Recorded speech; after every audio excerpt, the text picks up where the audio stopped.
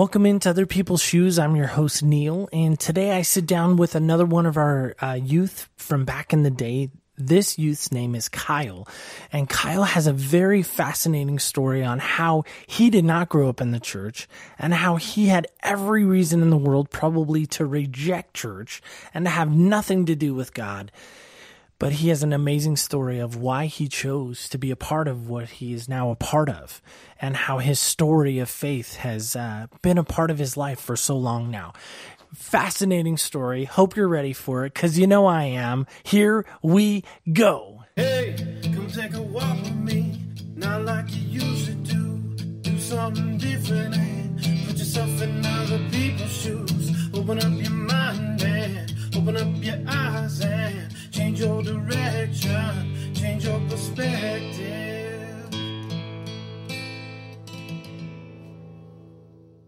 Welcome into Other People's Shoes. I'm your host, Neil, and I get the privilege again of talking with one of my youth kids. Now, some of you who have listened to some of these previous episodes might notice we have yet to have a girl on.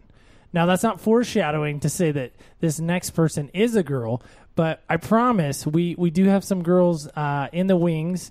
Uh, I'm just getting to maybe we're, we're going boys first and then the girls. That, that's a good way to look at it, maybe. I, I'm not sure, but I want you to welcome in my next guest. His name is Kyle Rollins. I'm going to give your full name only because we're going to talk about something towards the end. So stay tuned for that. But Kyle, uh, how are you? Life is good. Good. So we're going to be talking about some cool stuff today. Um, so I want you to, if you can, jump in the time machine with me back to when you first started going to junior high and high school Mm-hmm. during that time frame and your youth group experience. Okay. So if you can kind of take that time machine with me, go back in time then. Totally. And uh, are you there? I am. Okay. That was a quick trip. Yeah. So I, I, I say this, Kyle and I have, I, I would say, relatively have stayed pretty close through the years. We've Yeah. we've crossed past a time or two. He's he's bailed me out with some band stuff, and you are in a mm-hmm. band, and Kind of, yeah. yeah, kind of Yeah. yeah. all right. And then you you're doing some some cool stuff in your job, and we'll, again we'll we'll talk mm-hmm. about that. But but think back, when was the first time you started coming to church, youth group, and and how old were you? Do you remember? I do. I was I was 14. It was probably the middle of my freshman year of high school. Okay. Yeah. And um, how old are you now? Just I am 32. Put it in perspective. Going on 32 and a half. 32 and a half. Old enough to have acne and gray hair. so I'm in that perfect That- awkward stage. That's hilarious. Yes. Okay, 32 and a half. I love that. So so obviously some time has passed. a little bit. A little bit of time. Okay. Yeah. Fair enough to say. All right. So uh, back then again, uh, thinking back to that, uh, what was one thing that you learned back then that, that maybe you still use today? It Was there one thing or maybe a accumulation of things that, that you remember? Um. Oh yeah, no, definitely. There's lots of things that I learned from that era of my time. Good good word. I like that. Good Yeah. era. Yeah, Okay. yeah, The, that- the era of your time. Okay. There was definitely, um, definitely, because I was coming out of a place of doing a lot of stupid things just for the sake of doing stupid things, like any teenage boy does, and uh, I actually had enough. I don't know of God's grace sitting on me to say, "Hey, look, here's what this looks like in 20 years. Do you want that?" And then, no, no, I really don't. So I kind of shifted gears and turned down the side road, and I was like, "Well, what's this church thing all about?" And looking into that, and the more and more I look into it, the more and more I go, "Yeah, definitely, definitely the right call." So, do you recall like that first experience? Like, who did someone invite you? How, how did you find out about what we were doing in those youth days? So it was kind of a. It was always like in the outlier of my sphere of people that influenced me, because um, I don't know if you've made mention to him in the past, but uh, John and Catherine Sleppy. I haven't, not yet. But uh, They have not come up yet. You're the first. Cool. Yeah. but they- but you had you had some interaction I with them. definitely did. Yeah, my um, way back in the day, like probably five years before I was even in high school, my friend's sister was babysitting their niece, and my and I think- John. I think, we're following that. yeah. My niece's cousin's uncle's nephew, Right. Yeah. It was kind of thing. Okay. Yeah, so my my really good friend's sister was watching their niece, and for the people listening who don't know, John and Catherine Sleppy were also youth leaders at the same time that Neil Matthews is also one of my youth leaders. And um, they also, John had a music store across the parking lot from my mom's work where I actually used to go and steal drumsticks and guitar strings. Did I- you ever get caught? Just on a little side note. he never did. At least he never confronted us, my brother and I. But I, there, yeah, he must have known. Okay. and All I, right. I have since confessed. Some to some him. extra grace Yes. there. Maybe even paid some drumsticks back. Are you paying some uh, what is it restitution? That's the word I was looking for. He, he was very, very merciful. And- Nice. and- Okay, John is a great guy, Yeah. and no, John and Catherine haven't come up yet, but, Yeah, but I'm yeah. glad you're talking about. it. Yeah, so, definitely. So that's how you kind of got connected was through Kinda. that kind of influence. So they were always kind of in my in, in the influence. Uh, Catherine actually watched my younger sisters. They were babysitters from like time I was 11, 10 on. But mainly, what actually got me involved in the youth group was uh, just my circle of friends. Some of my friends that I hung out with were doing this thing on Wednesday nights where they'd go and hang out with a bunch of other high school kids, and I figured, eh, it beats going home and play video games. I'll have to go do something. now help me out. John and Catherine would would even go around and pick kids up. Oh, yeah. they, had a van, a, a good size. It wasn't like a new van, but a, oh but, goodness, no. but a but a pretty beat up old van. Yep. Uh, eh, eh, I don't want to say any kind of creeper connotations, but No, but no, it wasn't no. that at all. No. But but they would go around and pick kids up, and that's kind of how you got to. Uh, in those days, I think it was a Friday night youth group, right? And then and then you transitioned into a high school youth group on Wednesdays. Yeah, it was Is that your memory or kind of. Like, messing I- that a lot of my friends went to the Friday night thing. I went maybe once, maybe twice, and um, but yeah, John and Catherine in that blue Dodge Ram 15 passenger van. That yeah, they'd go around pick kids up and just heart for kids, take them out to a park and play and have a message and all that stuff. And so I went to that maybe once or twice, but I didn't really it was just kind of an offhand thing that I went on the rare occasion. And in high school is definitely when I started going. I was like, oh yeah, no, this is this is the thing that's fun that I enjoy doing. you were more active come high school. Much, Okay. much more active. Okay. And I didn't remember that. I mean, I knew there was a John and Catherine influence, and kind of that's how you may have gotten, uh, in a sense, invited. Mm-hmm. But I didn't know your your activeness didn't really take off till till high Yeah. school. So that's that's good. I didn't know that. Yeah. Okay. So, silly question, but but but uh, maybe a relevant one. Mm-hmm. Do you ever really remember making a decision for Jesus, and and what did that look like? Um, yeah, I did, and it was towards the end of my freshman year, and so my typical. I don't know if you were fully aware of this, but most of the people that I hung out with in high school, especially my freshman year, our typical Friday night was we'd all have saved a bunch of money, and we'd go to one of our friends' houses and give his mom all of our money, and she would use that money to go buy as much malt liquor as she could.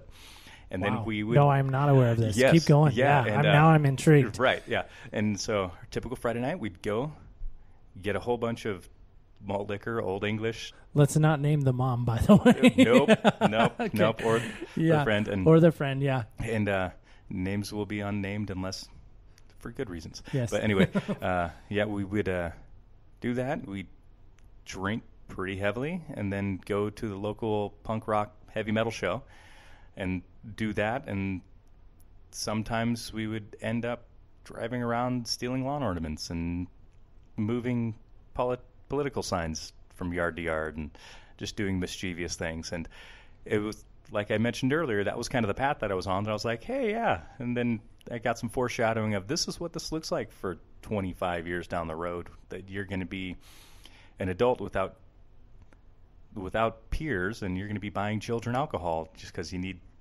fellowship of some sort. And I was like, yeah, I don't necessarily think this is going to be a productive road. And uh, so I started shifting gears and found I was like, okay, this is like guilt-free fun.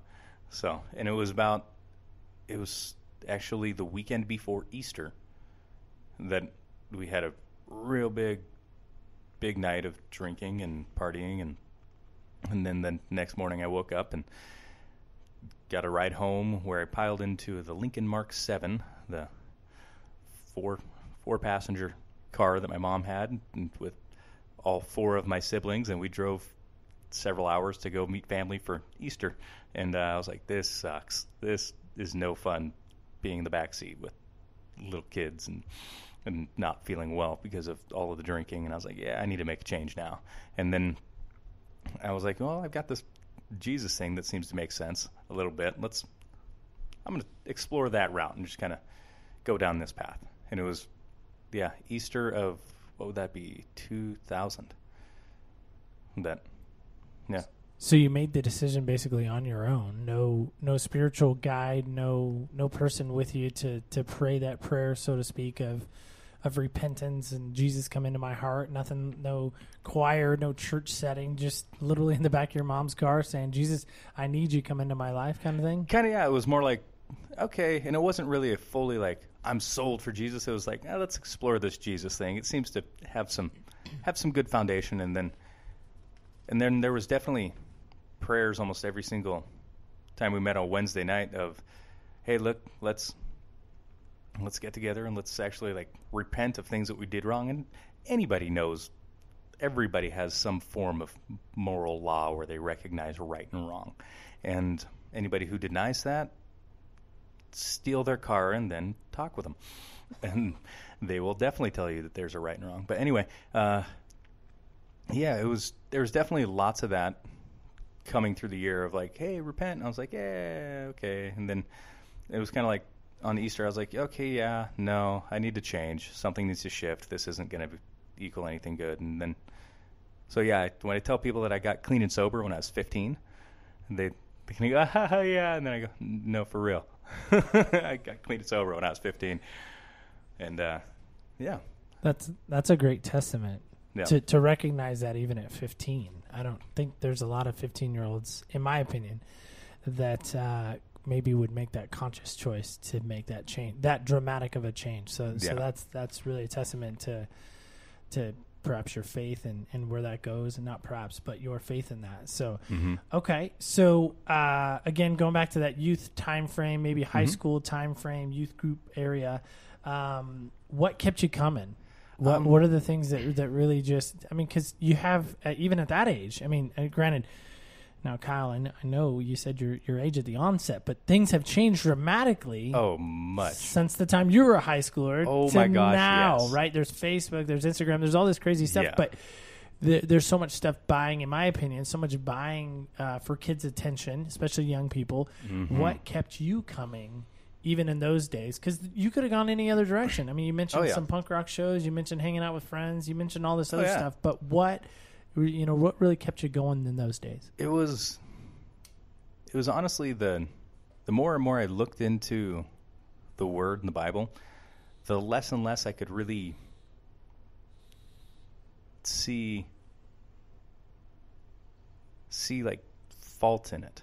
And it's like, yeah, I recognize people are broken, people are always going to fail, but the more and more I studied the doctrine and like the heart of what I believed was behind it, the better I felt. I never had any guilt because of going to church, even though people tried. And I was like, no, I, my God, this God that I'm reading about is a is a loving, caring God. Why would I ever be ashamed or guilty of that? And so I started looking in, into that, and also it was a lot of we had a lot of fun. We had a ton of fun with a, a decent sized youth group of regularly 20 kids or plus that became just good close friends and it was kind of just having good fellowship that was guilt free and just good fun was- yeah So you kind of went through the, the church through your high school days. hmm And um, did you ever stop at any point going to church, or did you just kind of continue that uh, activity and that uh, attendance and that you know all that post high school? Uh, Post high school actually kept coming. Um, my thing for me is that I, by the time I was, I graduated as a high school senior, I recognized I was like, oh no, God is definitely, He has a much better plan than anything I could ever come up with, and like, I had a job that allowed me to get to church on Sunday morning, and there wasn't a whole lot of, uh, like stuff for an 18 year old to do as far as like I wasn't considered youth, and there wasn't really a young adults kind of thing going on. But I still, I was still friends with everybody, so I'd still hang out when I could, and and I knew that God had a better plan for me than anything I could come up with. So let's just keep going to church, and uh, so I, yeah, I kept coming through. Now, help help me out because I remember a little bit of your parents. hmm Were they church people? Did they did they go to the church with you? Did they make you go to the church? Did they No. do anything creative like that to say, "Kyle, you have to go"? No, absolutely not. Actually, there were times where it was the opposite, where my mom's like, "You're grounded from church. Why? Because I don't want you to go. You don't have a good reason for me not to go to church." Yeah. So, if, if anything, the closest religion my mom would probably consider herself, I would probably guess Wiccan. And then my dad, he actually grew up fairly devout Mormon. Now, I did remember that. Yeah. I did remember that. and part, as yeah. as a young kid from like seven eight until about 10 or 11 my brother and i my parents sent us to the mormon church so i kind of grew up in that and then that always for whatever reason felt awkward going to a mormon church for me um, the people were wonderful very nice very caring very giving but just the vibe in the church never really set well with me and it was it was just awkward awkward is probably the best word for it sure. and um, so yeah, my brother and I. But yeah, and my dad grew up Mormon. Definitely was not a practicing Mormon. Um, his, well, he had a bunch of sisters, and they were all, to some degree or whatnot, either following or not the Mormon faith. And um, his parents were very devout and also very caring, giving, and loving. So I was, I had some wonderful grandparents. Or I always kind of joke. It's like, yeah, my um, my dad's side of the family is Mormon, and my mom's side of the family is moonshining rednecks.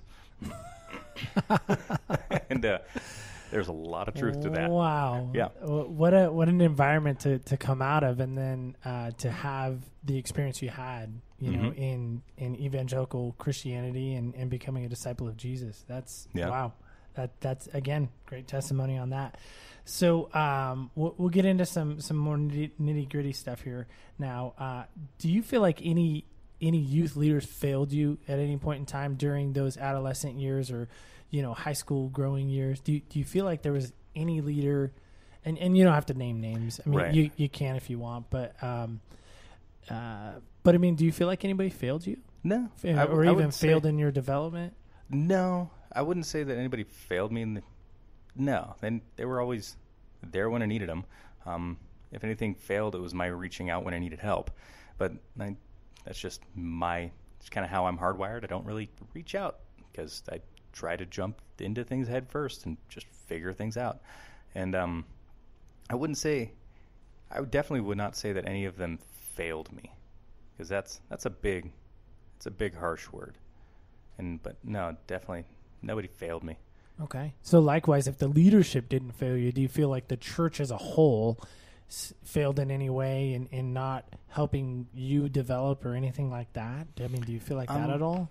So, in retrospect, looking back on it now, and looking back on what I see church doing now, and like church culture, and having a smidgen of maturity. Now, granted, it's it's not much, but um, looking back, I think the one thing, because I eventually ended up becoming youth leader and did that for about a decade, and um, the one thing that I would have done differently is create a culture of discipleship to where it's much more one-on-one like learning and asking more questions of what are you going through? How are you dealing with this? And just listening more to the to the youth that I dealt with. I would have done much more listening and asking questions that are just how are you dealing with? And instead of giving a list of rights and wrongs if that makes sense. You know, it does, and and I I'm glad you brought that up because, um, you know, being that you were the former youth, and and even now, I mean, I'm 38.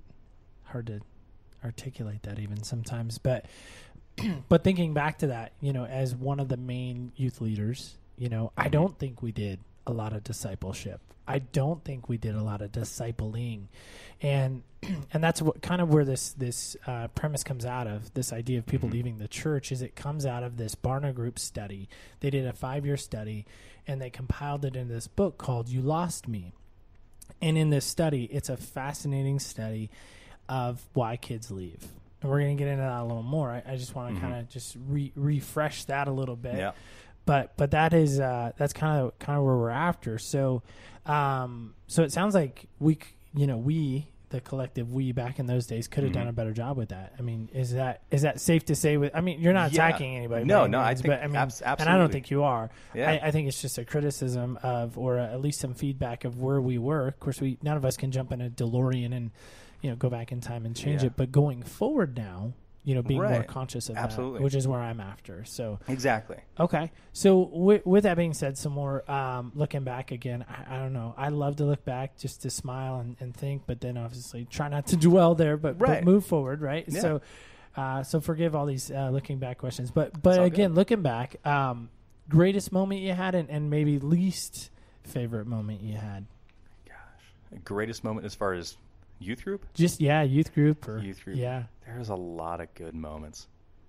I know. If you could narrow it down to one, maybe two. I know I'm. Uh, there was a lot of good moments. There were there were a couple of like heated moments for sure. yeah. well, you know, anytime you get young people together. Oh man, hormones raging. Yep. Yep. Yeah, and there was a, gosh, I'd probably say one of my favorite moments is actually one that probably necessarily wasn't the a good moment, but it was definitely a fun moment, which was uh, just pranks at summer camp. Yeah. And there was there's several of those. Those are Yep. probably stories they tell more than anything. Yeah. and uh, And and being guilty of that as a leader and helping in those pranks. Yep. yeah, Well, yeah, I, I do look back on those as well. Yeah, yeah. There, there was a there was a lot of really good fun fun times doing that. There was also some good, real good heart to hearts with just buddies, and it's like, how are you dealing with this? Like, what's going on? And it's like, mm, some of the kids in our youth group, they they were put through the wringer pretty hard, like with their home life, and, Yeah.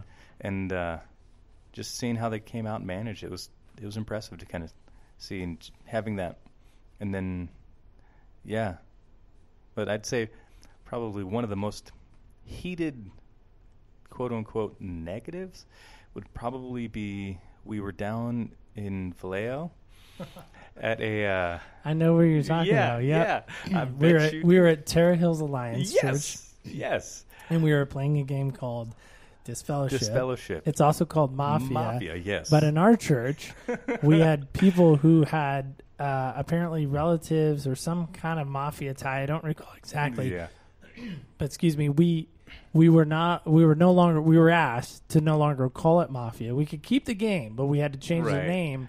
So us as leadership came up with a way to call it disfellowship. Yeah. Same game. same we game just same principles just, we just different language Change changed the names. And so yeah, talk And- about that. yeah, I, I don't want to steal your and, thunder on that. and but it's but oh, yeah, that and- that was a good moment. in concept it's a it's a great game and it's a great role playing game where you got to get into character and you got to learn how to to skillfully use your words to create an outcome and and a lot of times us being teenagers we would especially some of the guys we would kind of pick on some people. And like any teenage boy you see a button you just keep push push push push push push. And some some of the other youth and so who are dear friends i look at like family now um one of a couple of the girls got really really upset. And it and emotions really really got ramped up. And it was not a healthy environment it was it was there was some screaming there was some yelling there was some and it transferred over Tears. There yeah, a lot of tears. a lot of Yep. tears, and um, yeah, that was that would probably be Pe- people in separate rooms that night in more ways than one. A lot of yelling. Yep. yeah, and it, there was Yep.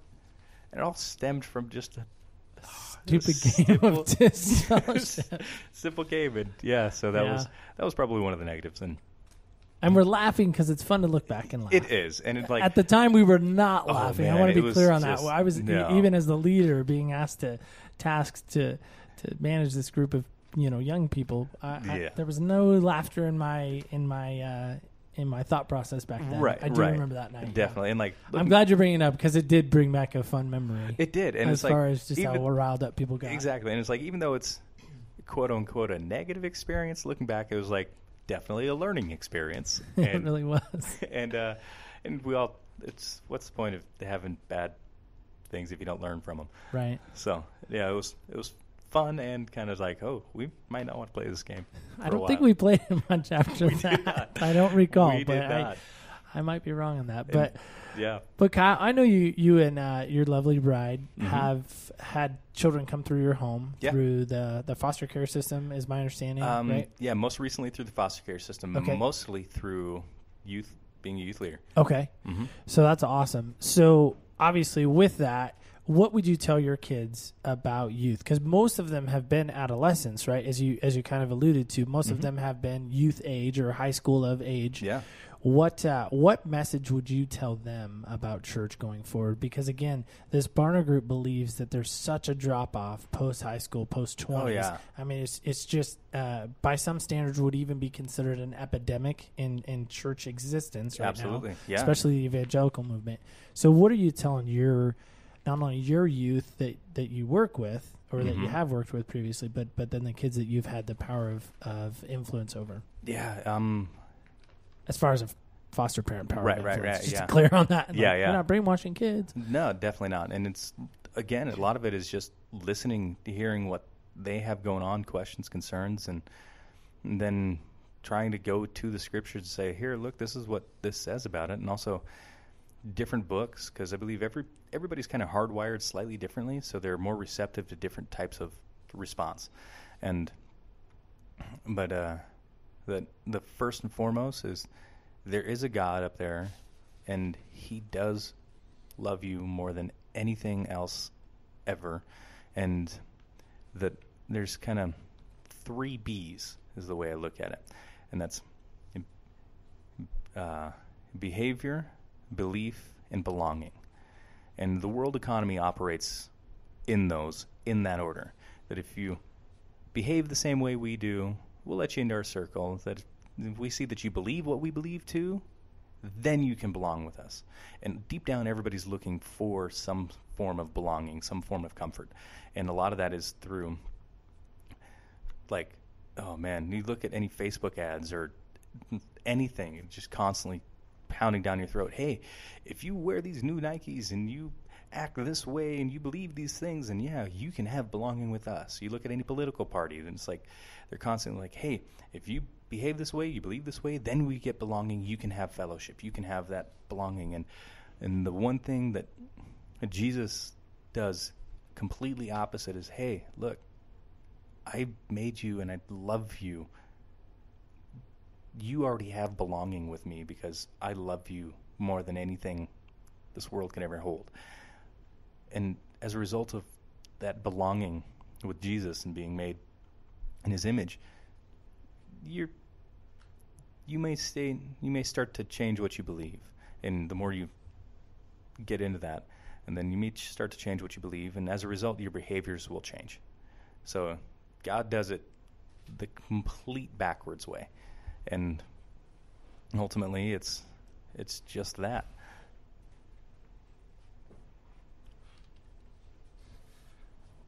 That was awesome. So we're going to get into some uh, some reasons. So these are the six reasons the Barna Group has discovered why people leave. Okay. So I'm curious what you think. Agree, disagree, and then if you want to respond, Mhm. if you want. Okay. So no particular order. Uh, reason number one, even though they are listed in one through six, we're just going to say there's no particular order to these. I Mhm. mean, there may be a greater reason or whatever. Anyway, Yeah. here we go.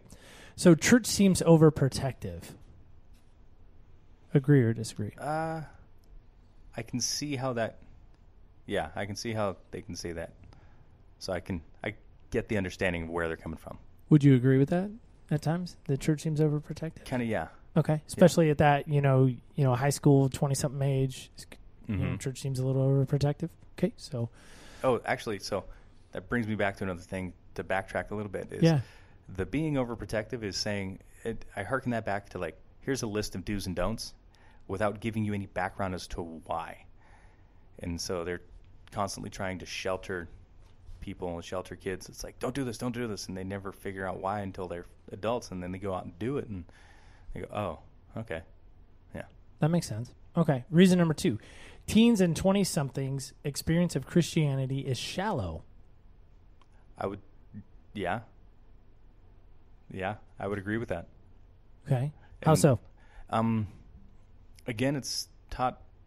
it's it's Jesus from a book instead of Jesus in your life, and it's a lack of discipleship and a lack of pouring true meaning in, into somebody's life through relationship. Say that phrase again. Which one? The one that you said Jesus from a book. Yeah, Jesus from a book instead of Jesus in your life. I like that. Okay. I like that a lot, actually. Um, okay, number three. Uh, church come, comes across as antagonistic to science. Yeah, it, it it does. There's there's a battle that's out there waging that science and religion are opposing forces, and they're not. It's like cooking versus music. How it's they're totally different entities, and they not one is any better than the- the other. And yeah, I, yeah, Okay, so you you agree with that as well? there there that that's a, big good reason why why people would leave. Okay, I, I I don't know if it's a good reason, but it's Well, definitely a reason. a reason, not not necessarily good or bad, but Yeah. but a reason, like you said, I like Mhm. that too. okay, young Christians' church experience related to sexuality are often simplistic and judgmental. yeah, I've seen that. Yep. Yeah. So if somebody is struggling with their perhaps their sexual orientation or their sexual preference or whatever, that the church is very simplistic in that regard and obviously very judgmental. You've seen that firsthand. Mm-hmm. Okay. Do you have an experience? With, not you personally have an experience with that, obviously, but just just in regards of how I've seen certain pastors, and I've been to several different churches up and down the West Coast and Colorado and all that stuff, and and of churches harping on a single issue and forgetting that it's all in love, regardless of who did what sin. We're called to love people, right. Okay. and so I've I've seen that. Okay. Yeah, Nice. You have some experience with that. Okay. Mhm. So again, that's another reason why people say that they leave is because of that reason. So Mhm. uh, number five, uh, wrestling with the exclusivity, exclusive nature of Christianity. In other words, Jesus said, and I'll quote him: "I am the way, the truth, and the life. No one comes to the Father except through me." That's pretty exclusive. mm-hmm. And so that's one of the reasons why people say that they're leaving is because you know, there's got to be multiple paths to, to get to heaven. right. Uh, do you agree with that or not? I I definitely see that as a trend that's happening, and for me, truth in and of itself, in essence, is exclusatory. It is exclusive. Truth is, regardless of what anybody says about it, it is. And if, yeah, if Jesus is true and He is the way, the truth, and the light, and nobody get through, get to heaven except through Him, and that is a true statement, then yes, that is exclusive. And some people have a hard time with that. Yeah. Uh, number six, final one. Um, again, this is a Barna Group study Six Reasons Why Young People Leave Church. Uh, number six, church feels, and this is the one that I really think is a hot button, more, more so than, than number four. Uh, number six is church feels unfriendly to those who doubt. I Comment yeah. on that. I can say that, yeah. And this is probably one of the things that I am guilty of.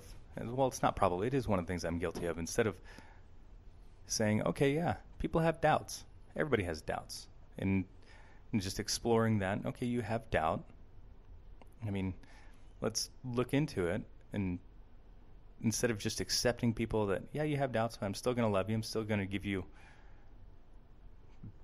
me and disciple you through whatever doubt you may have. That's a lot of, uh, oh, you have doubt. We need to fix that. We need to fix that now. And it's like, let's. Well, what are you doubting on? Here's A, B, and C reason why you shouldn't doubt. Instead of like, oh no, there's.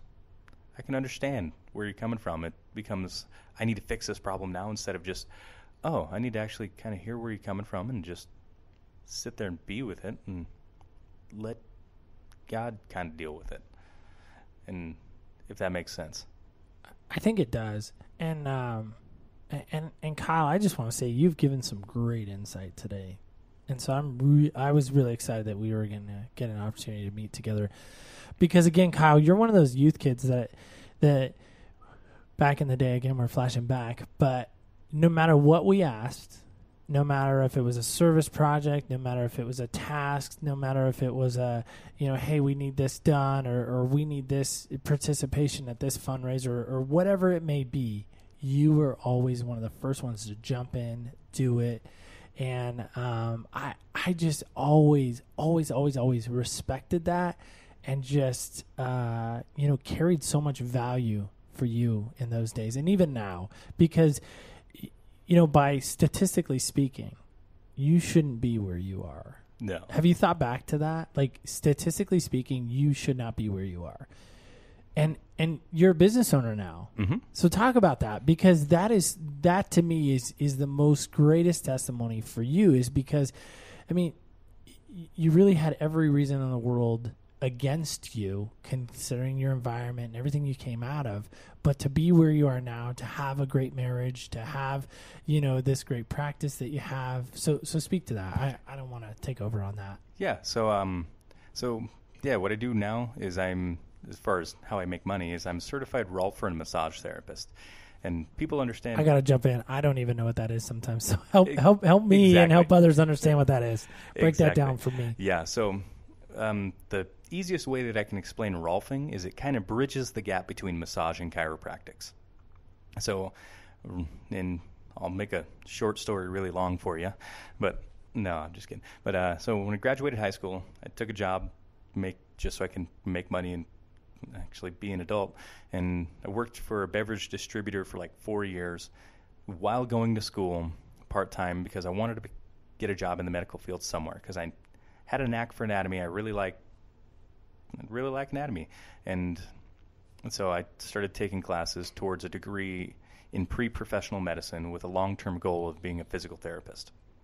Now, after four years of working for a beer and wine distributor, I took the opportunity to teach water aerobics at a hospital, which did that for with old people yes, okay probably one of my favorite jobs I've ever had.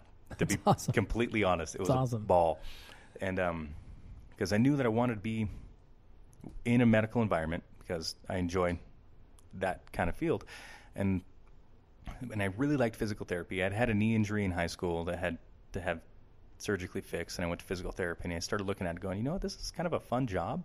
I get to help people every day, and and and, like deep down my passion is to help people in whatever fashion that is. And to the point of moving enough people my first year out of high school i had to claim it on my taxes.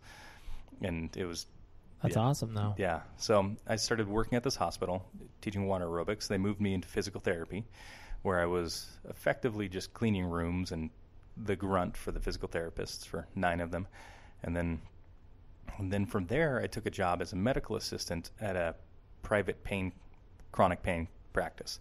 And that doctor, he knew that to treat people's chronic pain, he had to do more than just stick them full of epidurals and give them pain meds. So he had hired an acupuncturist and counselor and a oh gosh chiropractor and a, a guy who does this weird thing called rolfing. And so I was like, okay, whatever. And I started looking into it, and everybody that was seeing this Rolfer were coming back with better posture, more vitality, needing less medication to manage their pain. So I approached him one day. I said, "So what's it take to become this Rolfer thing, and what all does it entail?" And in looking at it, I was like, okay, so I can go down, continue down the path I'm on, and in eight to ten years, have a doctorate in physical therapy, and be kind of a slave to insurance companies, doing what they tell me to, how they tell me to do it, and then, or I could kind of totally take this other path down, becoming a certified rolfer and massage therapist, and be able to truly work on people's issues that it, were there, and it took significantly less time and significantly less debt. And me not being the greatest student and being left to my own devices, I'm pretty lazy. I was like, two years versus 10 years? Yeah, I'll do this two year thing. And so that was almost six years ago now when I finally graduated that. And uh, so I started helping people with their posture and their alignment through tissue manipulation. And yeah. I gotta say, since our last chat, um, way prior to the podcast, is the wallet thing because I would always keep Oh, my yeah, wallet in my back Yeah. pocket. And you kind of called me on that. Like, do you Mhm. always do that? And I was like, well, yeah, yeah, that's where my Yeah. wallet goes. It goes in my back pocket. But since then, Mm-hmm. I don't put it in my back pocket anymore. So it's Nice. because of you. Hey, nice. I am losing my wallet a lot more, so my wife might not thank you for that. but but but I did take your advice on that. And even Awesome. today, as I sat down, if you noticed, I took my wallet out Oh, of my nice. pocket because I knew I was going to be sitting and I didn't want to sit on it. Nice. Even for this little bit of interview. So so so Kyle, if someone was interested in get you know looking into rolfing, seeing if that's something that that would work for them, not only for their Mhm. body but for their insurance and everything that comes with that. How can they get in touch with you? Um, right now you can. I'm in the process of a rebranding, and everything is moving. And he has a new cool shirt, by the way. I do.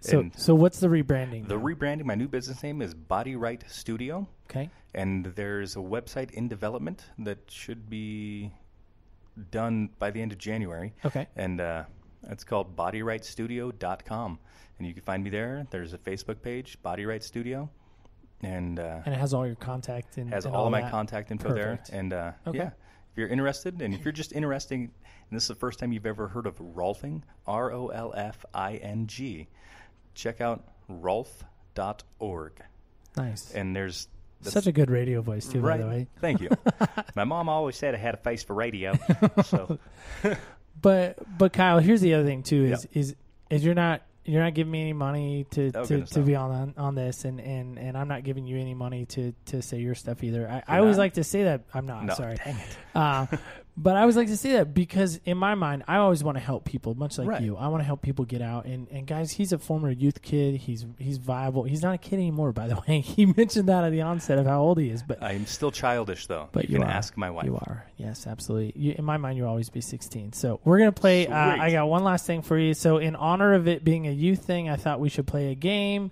Sweet. Uh, I actually do this on every episode, but but because of you're a youth kid, if I can get my phone to open, there we go. Um, we're gonna play a game.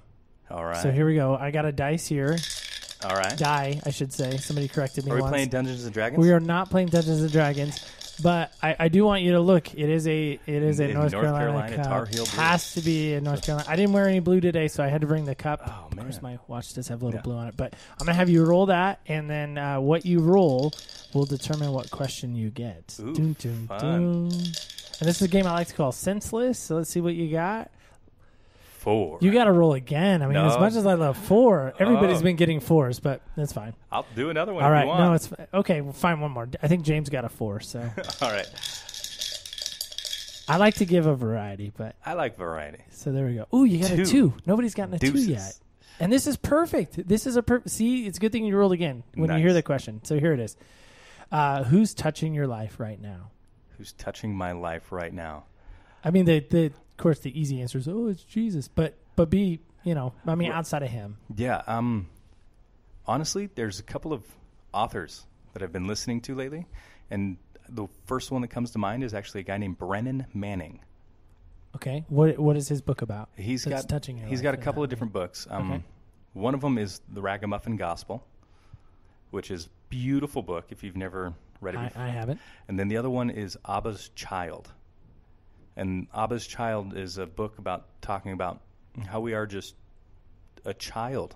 We are a child of God, and we all have our follies. We all will fail, but deep down, our identity comes from God who knit us in our mother's womb. And that we have an imposter self telling us, oh, we're not. We're not capable of doing this. We have a Pharisaical self telling us that, oh, we're better than the next guy. When deep down, no, we're just children of God. And so Abba's Child and from Brennan Manning is probably one of my go-tos. Like that one is almost always on the back of my mind. Got it. Yeah. Awesome. Well, Kyle, again, thanks for coming on. Thanks My for sharing pleasure. some moments with us. Yeah. And, you know, I, I know you haven't left the church, and that's good. No, yeah. Uh, and Um, that's awesome. Mhm. Um, and, and again, I, I wish you all the best in your practice and, you. and everything that comes with that. And, and of course, I, I love your bride dearly. She's a sweet lady, too. Um, and, and again, um, I just, I can't say it enough how proud I am of where you are and, and how excited I am of, of this, you know, new transition that you're on. And, and I wish you all the best. So, Thank you very Thanks much. Thanks for coming on. And guys, again, this is Other People's Shoes. Some things you heard today may not be what you love. It may not be some things you agree with, but see, that's the best part of life is when you walk in someone else's shoes, you really do get someone else's perspective. Thank you again for listening.